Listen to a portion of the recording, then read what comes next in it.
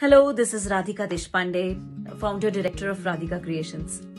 Radhika Creations is a creative house. Um, we teach drama over here, and we have uh, different kind of presentations related to uh, drama, play for children. This time we are coming up with something new, something different, and that is Twios, the fashion show 2023. Uh, over here, we are looking uh, for uh, smart and confident kids who love fashion and also are ready to walk the ramp, as well as uh, those students or uh, kids who are not that confident but would like to try something new. Um, this uh, workshop is going to happen in the month of May, and there is going to be a grand presentation in the month of June, on the 4th of June we are actually not looking for models over here, but we are looking for personalities.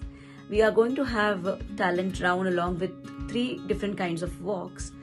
We are not going to have any kind of Bollywood songs in this, but uh, we are going to uh, represent and present Indian values and Indian culture, as well as respecting the uh, Western culture and uh, we also have a contemporary outlook altogether.